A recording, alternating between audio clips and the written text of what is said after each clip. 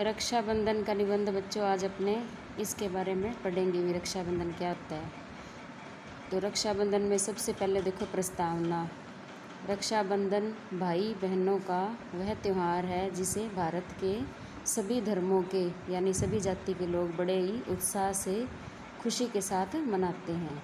यह दिन भाई व बहनों के लिए बना है।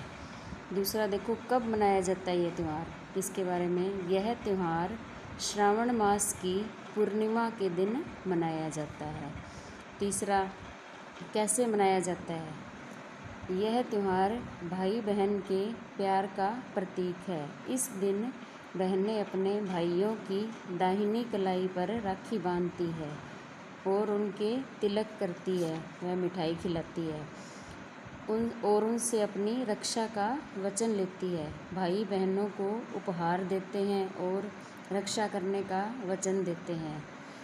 महाभारत में भी देखो बच्चों, इसका कुछ बताया गया मैं आपको बता रही हूँ। महाभारत में शिशुपाल का वध करते समय श्री कृष्ण की उंगली पर चोट आ जाने पर द्रौपदी ने अपनी साड़ी फाड़कर उनकी उंगली पर बांधी थी। यह भी श्रावण मास की पूर्णिमा का ही दिन था और कृष्ण ने चीर हरण के समय द्रौपदी की लाज बचाई थी, यानी उनकी रक्षा की थी। उपसंहार।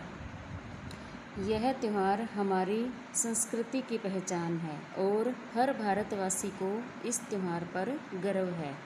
लेकिन भारत में जहाँ बहनों के लिए इस विशेष पर्व को मनाया जाता है, वहीं कुछ लोग ऐसे भी हैं जो भाई की बहनों को गर्भ में ही मार देते हैं। आज कई भाइयों की कलाई पर राखी सिर्फ़ इसलिए नहीं बंध पाती क्योंकि उनकी बहनों को उनके माता पिता ने इस दुनिया में आने ही नहीं दिया। यह बहुत ही शर्मनाक बात है। हमें इन सबको रोकना चाहिए। अभी आप अपने हिंदी ग्रामर की कॉपी में करोगे।